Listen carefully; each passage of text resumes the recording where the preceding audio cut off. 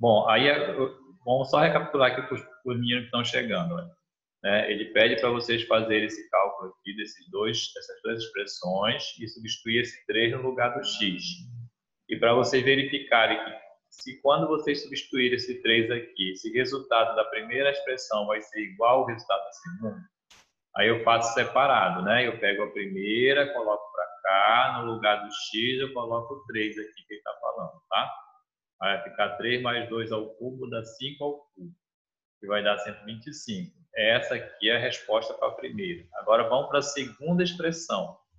A segunda expressão é essa daqui. Ó. Então, no lugar do x vai ficar o 3. Ó. Tá aqui, ó. Era x aqui em cima, coloquei só o 3, que é o valor do x aqui. Vai ficar 3 ao cubo mais 2 ao cubo. Vai ficar 27, que é o 3 ao cubo, mais 2 ao cubo, que é 8. Resultado 35. Né? Então, conclusão, o resultado dessa primeira expressão não é igual ao resultado dessa segunda. Né? Não quer dizer que só porque eu levei ao cubo aqui, o resultado dessa questão vai ser igual a essa daqui. Tá? Veja que mudou, aqui tem parênteses, aqui não tem, né? Eu vou separar. Então, portanto, os resultados são diferentes aí. Tá bom? Posso passar? Pode. Né? Vamos lá. Próximo, né? Calcular o valor numérico da expressão algébrica, né? Essa expressão aqui, sabendo que o A vale 1, o B vale menos 9 e o C vale 20, né? Então, isso aqui é, uma, é um tipo de fórmula matemática que ano que vem vocês vão trabalhar muito, tá? Que nós chamamos de equação de segundo grau. É a fórmula de Bhaskara, vou chamar, tá? Então, ele tá Como é? Fórmula de Bhaskara. Tá, já anotei aqui. Oi? Repete aí, professor. É, ano que vem vocês vão estudar isso aqui, tá? Mas aí mais é um cálculo mais adiantado. Aí o que a gente vai fazer aqui? Cada letra dessa aqui representa um número. Então, em cada letra que tiver aqui, eu tenho que verificar qual é o valor numérico dela. Aí eu vou substituindo, né? Então, o B vale menos 9, o A vale 1 e o C vale 20, né? Então, aqui vamos substituir aqui, ó. Né? No lugar do B, eu coloquei o menos 9. Olha, veja que o B já era negativo e o, e o 9 é negativo. Por isso que eu tenho que colocar o 9 dentro do parênteses, que ele é negativo. Menos da, da expressão, né? E menos 9, porque o B é menos 9 ao quadrado. Então, o menos sempre acompanha o número, tá? Menos da fórmula, 4 vezes o A, que é 1, e o C, né, que é 20. Então, substituir o B, o A e o C. Ó, tá aqui, ó, tudo substituído. Sobre 2. Né? Então, vamos tirar aqui do parênteses, ó, menos, menos. Né? Quando eu fizer menos com menos, vai dar mais 9. Né? Aqui, 9 ao quadrado, 81. 4 vezes 20 dá 80.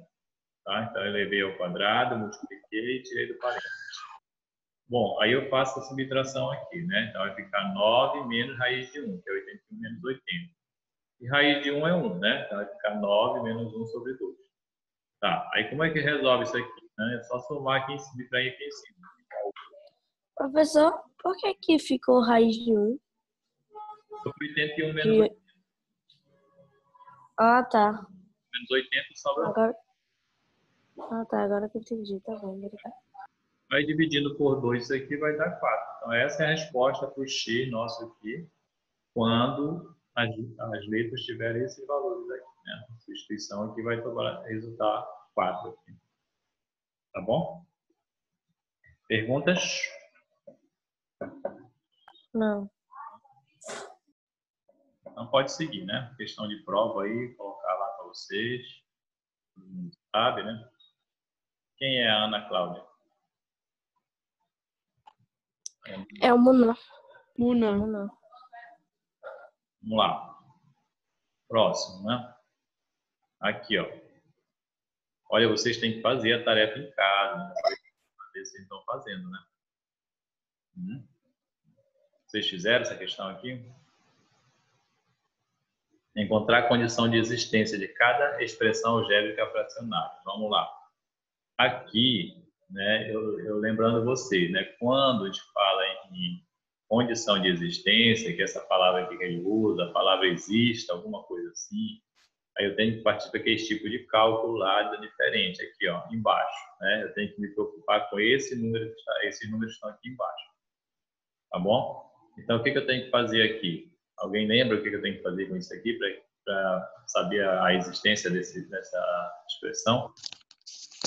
Diferente de zero, não sei. Exatamente, né? Pegar esse termo todo de baixo e dizer que ele é diferente de zero. A Maria Clara está ali, né? Acompanhando tudo, né? Tá? Então tá aqui, ó. É só pegar o termo e dizer que é diferente de zero. Passa o 5 para o segundo membro, já que é uma equação, ó. Né? É negativo. Passa 2 dividindo, tá? Então o resultado aqui vai ficar diferente de 5 sobre 2. Então, esse é o valor que o x não pode assumir, né? que não pode ser colocado no lugar do x. Tá? Então, enquanto a condição de existência vai que a expressão gera, a cada expressão gera. Então, só vai existir essa fração se o x for qualquer outro número que não seja esse aqui. Aí ela vai existir. Tá? Porque quando eu colocar esse número aqui no lugar desse x, essa parte de baixo vai zerar todinho. Tá? Dá zero. Aí não pode, né? Vocês já fizeram na calculadora que divisão por zero não tem como, né? Tá? Estão acompanhando? Tudo bem? Pode passar adiante? Tudo. Pode. Pode. Bora lá. Próximo, né? Veja que aqui eu tenho três termos, né? Eu tenho três denominadores para trabalhar. Então, eu tenho que trabalhar com esse denominador, depois eu tenho que trabalhar com esse denominador, depois eu tenho que trabalhar com esse denominador aqui. Tá? São esses três. Então, vamos por parte aqui. Quando eu pegar o primeiro, é o mesmo processo que vocês fizeram aqui, tá? pega o primeiro, que é o 3y, diz que é diferente de zero. Né? E aí, o que, que eu tenho que fazer agora? Não está multiplicando? Passa dividindo, né? Tá? O número que está multiplicando a letra, passa para baixo. Quanto é zero dividido para 3? Alguém sabe me dizer? Existe ou não existe isso aí? Não existe. Não existe. Não existe. Não existe. Não. Tem nenhum número multiplicado por zero que dá.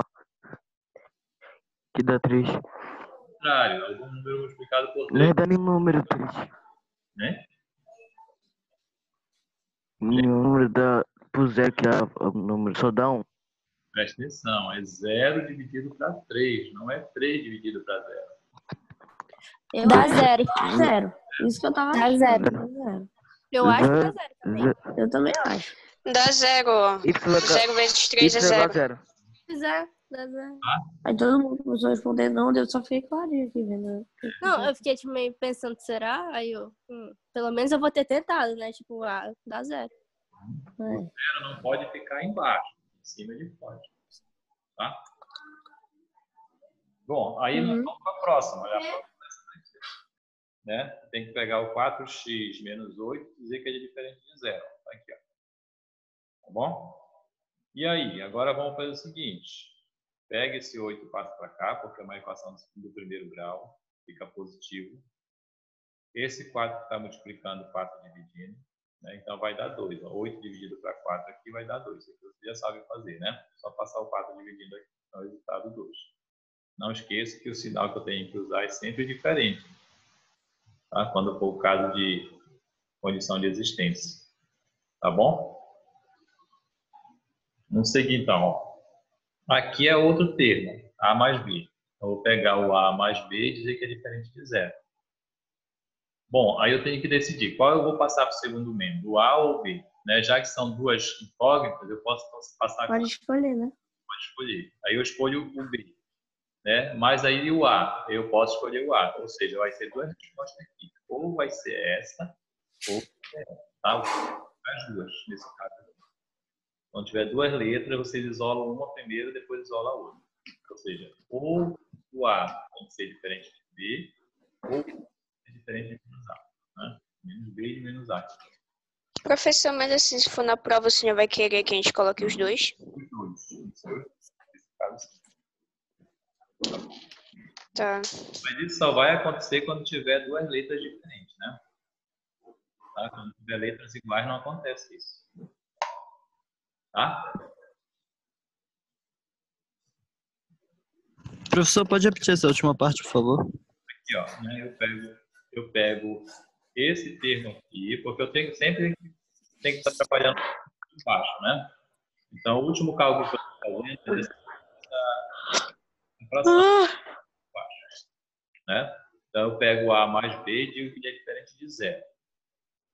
Aí depois eu tenho que decidir, já que tem duas letras, né, aqui, eu tenho que decidir qual delas, qual delas eu vou isolar, né? Então eu isolo só uma, e o B, ó, passei o B para o segundo membro, isso aqui vai ficar negativo.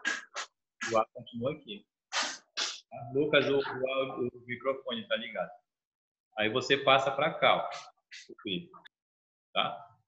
Passando para cá o B fica negativo o B. E o A continua aqui. Aí, em outra situação, você pega o B, permanece com o B aqui, passa o A para o outro lado, fica negativo o A. É, então, uma hora é o B, outra hora é o A que tem que passar para o segundo membro. Tá? Então, tem que ser duas, dois cálculos. Um com A primeiro e outro um com B primeiro. Tá? Então, esses dois resultados valem, são válidos. Tá? Tem que ser esses dois D. Tá bom? Perguntas? Não. Não? Tá.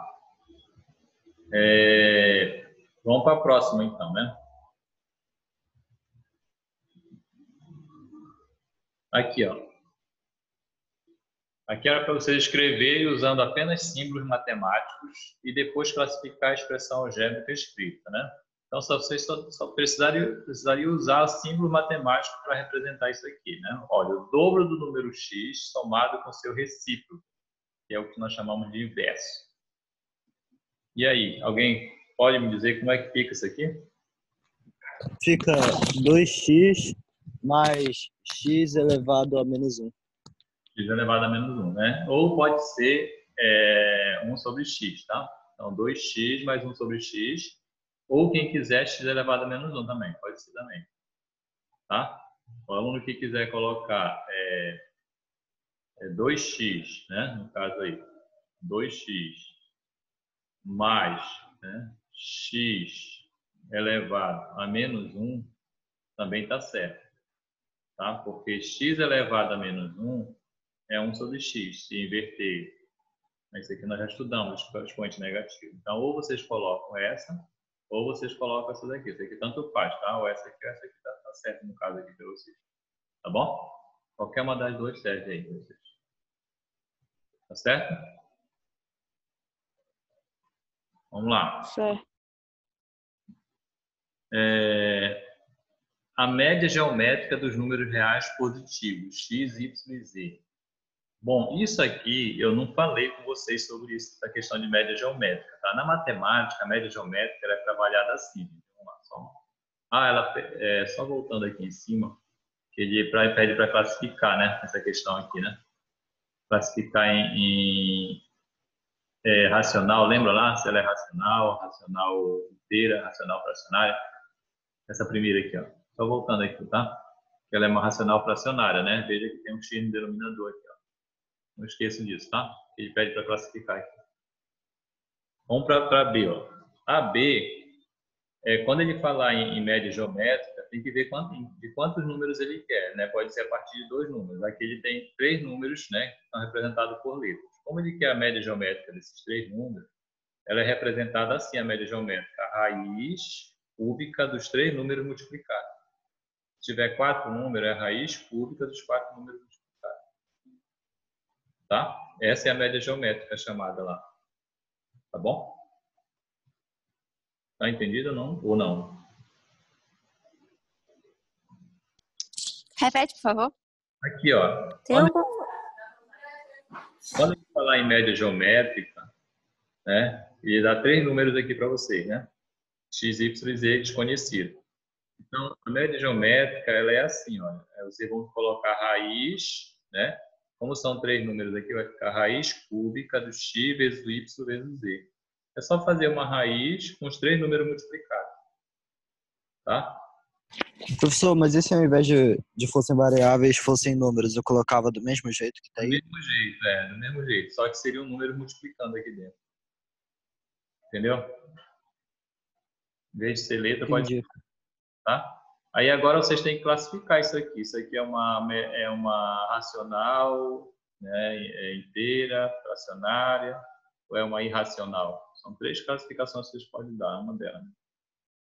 Professor, Acho que é racional. professor, Ui, fala. é, então, tipo, se fosse duas letras, Aí seria a raiz quadrada É, ou seria cúbica mesmo? Isso, vai pela quantidade de letras que tem, tá? Três letras, três. Quatro letras, quatro e assim por diante. Tá bom? Sim. E aí, essa raiz aqui, ela é racional, né? Inteira, fracionada, ou é uma, Irracional, eu acho. é uma irracional? Eu acho que é irracional. Também acho que é irracional, professor. Isso, tá? Você já vê que é uma raiz, né?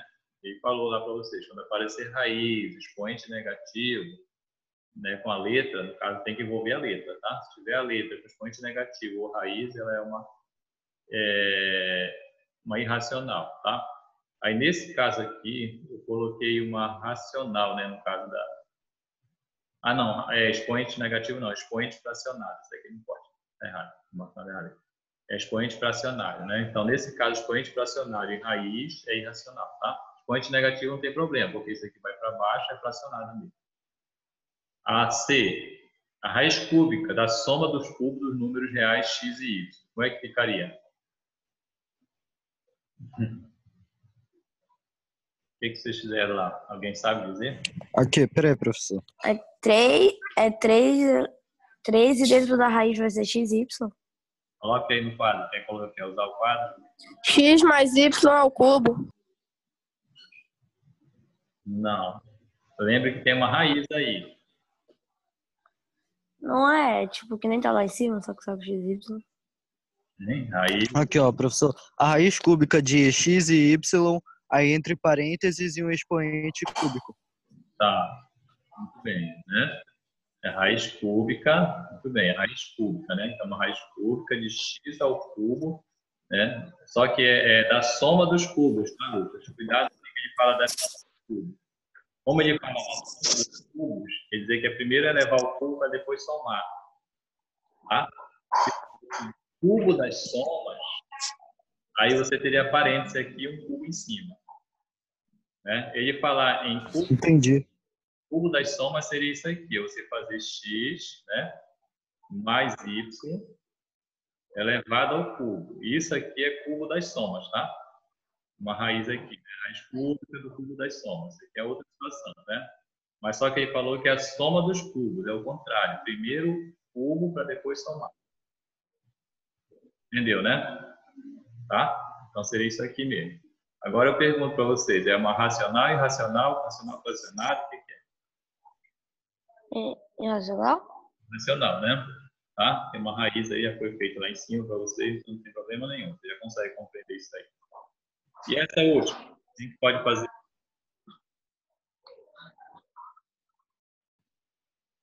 Como é que ficaria a soma dos inversos desses números aí? Essa daí eu não fiz, professor. Um fez? Também não Essa sei daí eu se não consegui, não. Quando foi que o senhor passou essa atividade, professor? Que eu não tô lembrando. Passada, a última aula que eu deixei, eu deixei para vocês. Mas foi no livro? Eu nem sabia que tinha essa questão da 22. Nem sabia que tinha essa questão 22. Foi Professor, no livro? Professor, é o inverso. não é fazer É o um inverso. sobre B mais um sobre C? Isso. Esse aqui já é. Pois é, o inverso. Mas espera Lá em cima a gente fez. 1 sobre D, presta Uhum. atenção, 1 sobre D e 1 sobre C ainda é isso aqui, só que escrito de uma outra maneira, tá? Eu não mudei nada, ó. eu só mudei a forma como escreve isso aqui, eu não inverti também. Isso aqui, B elevado a menos 1 é 1 sobre B. C elevado a menos 1 é 1 sobre C. Então, continua sendo a soma normal aqui. Agora, ele quer que vocês façam a soma dos inversos desses números aqui, ó. Desses que estão aqui, que é o mesmo que está aqui. É B sobre 1 e C sobre 1. É, exatamente. É só inverter. Então vai ficar B sobre 1.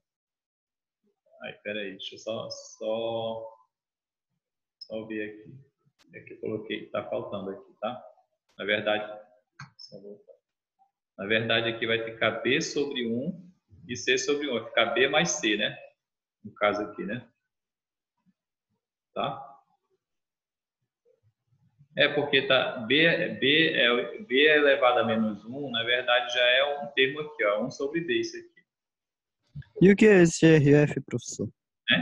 É uma racional fracionária. tá? Porque ele pede para classificar, né? Uma racional. Ok.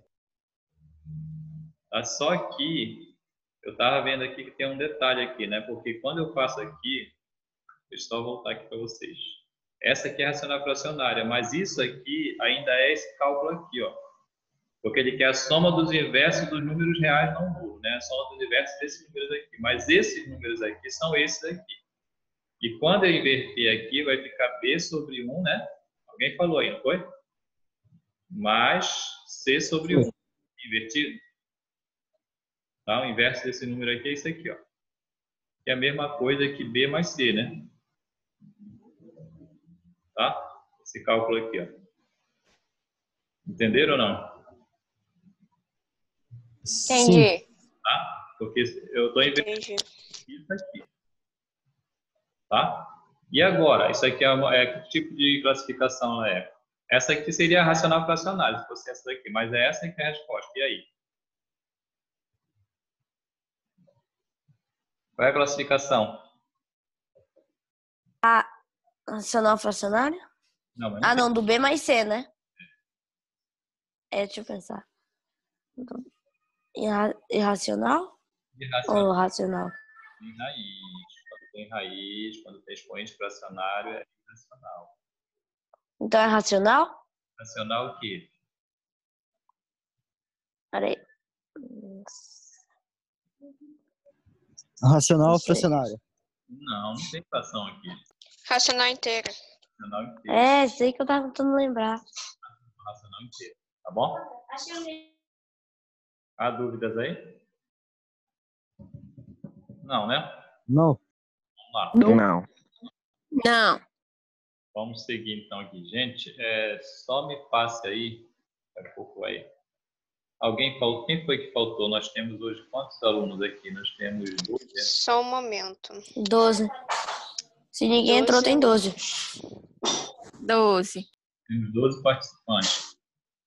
Quem é que faltou, vocês sabem? Eu acho que foi, deixa eu ver aqui. Analia. Eu acho. O Gabriel Tanaka. acho? E o Gabriel Tanaka. é. Gabriel. O Ga- o Gabriel Gabriel Tanaka. Gabriel Tanaka. Tanaka. Gabriel na. Ali, Gabriel. Tanaka. Então, Gabriel Professor, o celular, professor, o celular do Gabriel tá quebrado. do Tanaka? Ele tá usando o da mãe dele. Tá. Só que a mãe Me zoando que ele conseguiu quebrar o celular dele na quina. não tem espaço. Como ele E eu o faltei na aula passada, professor. Eu tava em Belém. É, a gente Caiu na O água. pescador deixou o gente falou celular que eu na faltei na aula passada porque minha internet Ah. tava muito ruim aqui de casa e foram ajeitar esses dias. Manda, veja só. O dia de aula meu que vocês tiverem problema, manda no PV, tá? Para eu poder não jogar falta para vocês lá no diário. Tá. Bom, não acabar ficando com falta lá. Tá? Olha, essa questão aqui eu esqueci de, de fazer o por parte, eu deixei direto aqui para vocês, só para vocês entenderem aqui, tá? Já ficou todo pronto já. Essa próxima questão, né? A 23, né? Se eu não me engano.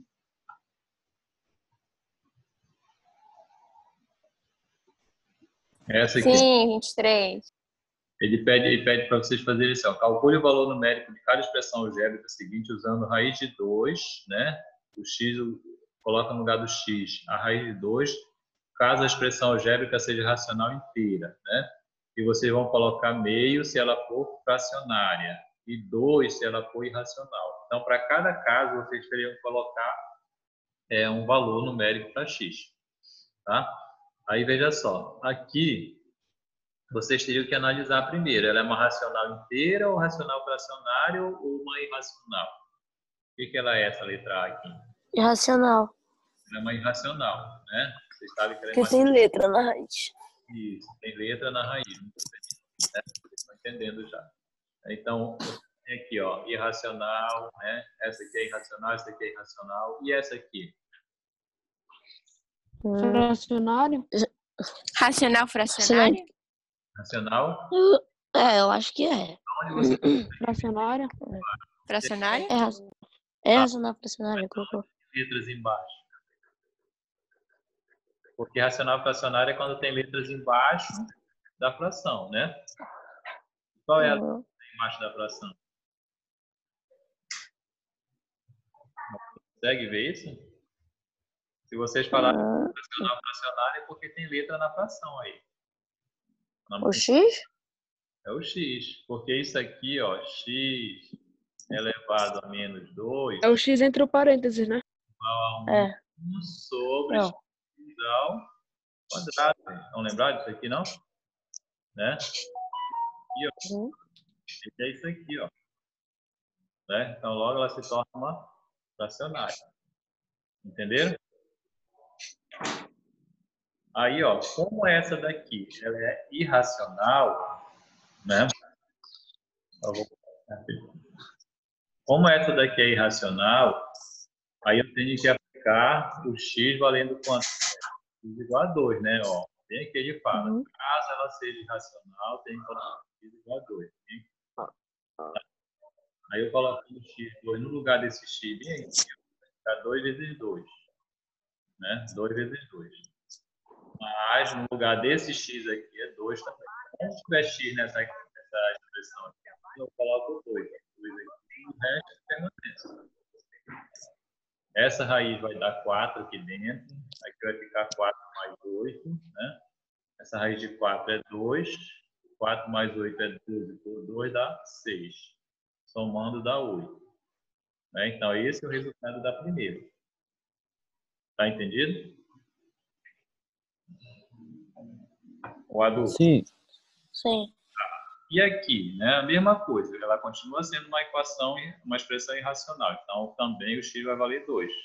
Novamente, cada x desse eu coloco 2 no lugar dele. 2 aqui, no lugar desse x aqui é 2, o resto tudo permanece. Só tira o x e coloca 2 no lugar dele. Tá? Aqui é 2 ao quadrado é 4, mais 1, 5. Tá aqui, ó. Né? A raiz de 5 já estava lá, só baixo para cá. 3 vezes 2 é, é 6, né? Mas aí, eu, caso, no caso, eu posso eliminar essas raízes aqui, ó. Tá? Porque aqui é uma... É, um termo simétrico, né? Eu posso cortar esses dois aqui, ó. Mais raiz de 5 menos raiz de 5. Então, sobra só essa multiplicação aqui, que é igual a 6. Tá? Acompanharam aí? Sim. Sim. Quando ela é racional fracionária, o que que eu tenho que usar? No racional fracionário é 1 sobre 2. Sobre 2. Então, eu tenho Meio. sobre 2 aqui, meio. Muito bem. Né? No x. Então, todo x Hum. aqui, ó, eu vou colocar meio.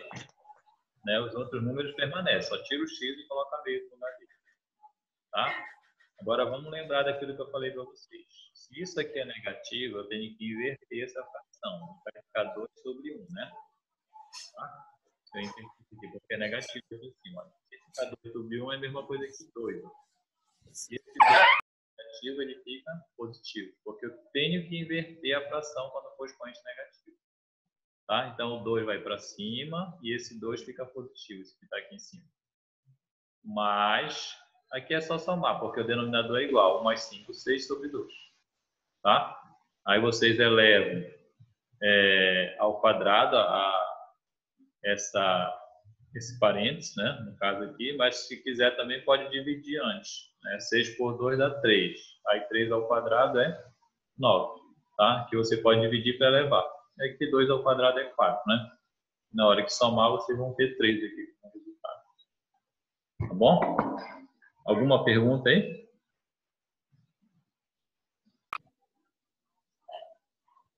Não? Não.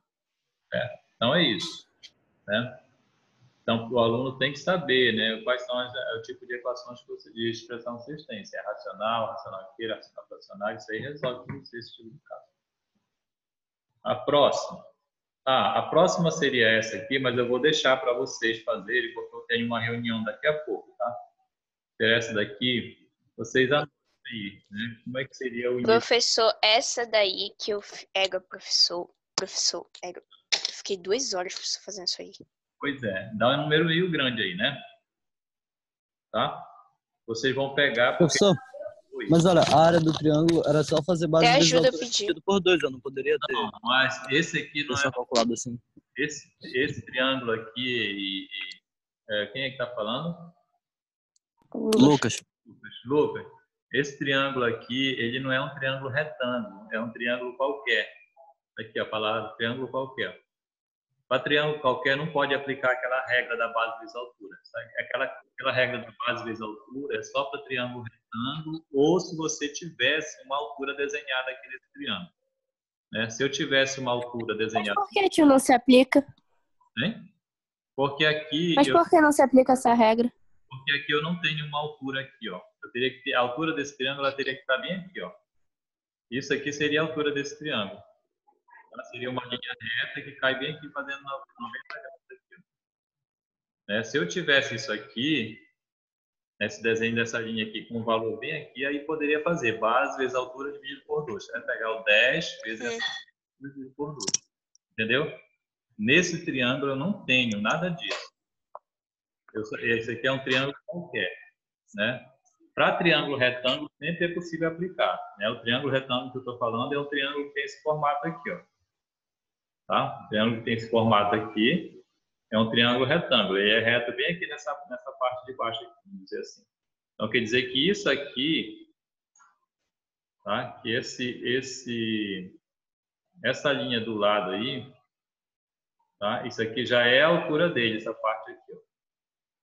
Tá? Já é a altura dele. Todo triângulo retângulo, essa parte aqui já é a altura dele. Ou é isso ou isso aqui pode ser a altura dele. Aí já dá para fazer direto, quando é triângulo retângulo. Agora, quando é um triângulo qualquer, tem que dar uma linha puxada aqui. Senão, não pode resolver dessa maneira. Tá? Tem que dar uma altura para vocês poderem calcular. Aí, nesses tipos de triângulo, vocês aplicam essa, essa, essa fórmula aqui. Ó. Essa fórmula aqui é do semiperi, é do- da área do triângulo. Né? Mas para achar a área do triângulo, vocês têm que calcular primeiro o semiperímetro. Tá? O semiperímetro ele é calculado por essa fórmula aqui. Ó. Soma os lados, tá? soma os lados da figura, que são esses três lados aqui, A, B e C, e divide por 2. Tá? O A, B e C vocês escolhem, pode ser qualquer um desses aqui, ó, A, B e C. Ó. A, B e C, pode ser aqui. Tá? O A pode ser o 6, o B o 8, o 10 e o C. Ou vocês decidem quem é A, B e C, que não tem problema nenhum. Aí o resultado que der bem aqui, vocês vão colocar no lugar do P aqui, ó, dessa forma. Onde tiver P, vocês colocam o resultado aqui. Tá? E onde tiver o A, o B e o C, vocês vão colocar um desses números aqui, ó. A ordem não tem problema. Aqui em cima tem que, é bom ficar nessa ordem, mas aqui vocês podem chamar isso aqui de A, aí vocês decidem, né? Vocês querem chamar esse aqui de A, você pode chamar isso aqui de A, esse aqui de B e esse aqui de C. Vocês podem decidir aí, tá? E esses números aqui vão ficar no lugar do A, B e C. Tá bom? Eu já iniciei aqui para vocês mais ou menos, e aí vocês vão terminar essa. Ainda tem a outra lá na frente que é para vocês fazerem. Tá? Esse aqui é desse triângulo. Fazer Tá, professor, tem que página do livro essa questão? isso aqui. Deixa eu só ver aqui se eu consigo achar aqui. 69. 69, né? Página 69. Não, exatamente. Tá? Outra página. aí. Tá bom? Dá para vocês Uhum. fazerem isso aí? Ok. Dá, né? Eu tenho Ô, que... professor, mas eu, eu, eu acho que eu enviei meu livro pra escola, ele não tá aqui. Tá, mas aí você só olha aqui essa questão, olha, né? Depois eu vou, eu vou deixar postado lá no grupo de vocês. No grupo não, lá no... Aí depois responde só lá no grupo, né? É, pode ser. Professor, essa- essas questões aí eu já fiz tudinho. Mas eu vou cobrar até aqui. Eu mandei pro senhor, professor. Tá lá no meu caderno, quase rasgado de tanto Eu apaguei. Ô, professor, mas tipo, nas letras que são A, B e C, eu tenho que fazer as três contas ou só, tipo, só da A? Eu tenho que fazer a conta da A, depois a da B, depois a da C. Não, só uma conta. Essa aqui é uma conta só. Esse aqui vai sair o P. Esse aqui é o resultado do P que vai dar para você. Ah. Aí o A, o B e o C, Ah, tá. tá? Se você decidir que o A é esse número aqui, esse aqui vem pro lugar do A. Tá bom? Tá bom, tá, obrigado. Raiz, quando você resolver todo esse parênteses na multiplicação aqui. Aí depois você tira a raiz. Tá? Aí o senhor vai mandar lá no grupo, tipo, essas fotos, aí a gente vai fazer a conta em casa mesmo e depois manda pro senhor, né? Eu vou mandar lá no YouTube, Tipo, faz numa. Tá? Aí Mandar onde? o canal lá. Não, vocês guardem para vocês me apresentarem na próxima aula aí. Quero que vocês resolvam comigo na próxima aula. Quero ver. Tá? Não, é, é pra resolver com o senhor, Não, vocês resolvem aí. Na próxima aula eu vou querer aí saber. mostra o resultado. Tá? Tá bom? Tá entendido, né? Tá. Então, ó, só para confirmar aqui, faltou a Ana Lia, o Gabriel Tanaka, só esses dois. Aham. Mas essa conta, tipo, pode fazer na cabeça ou tem que fazer num papel? Numa folha? papel, gente. Pra fazer na cabeça. Faça no papel. Tá? Tá. Então, por hoje é só. Próxima aula, a gente segunda- é quinta-feira, nossa próxima aula, tá? Tá. Tá. menina. Tchau, professor.